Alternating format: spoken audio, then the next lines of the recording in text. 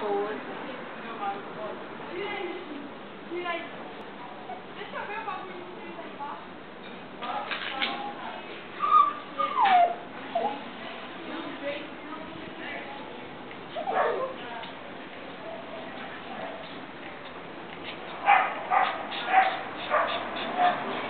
Thank you.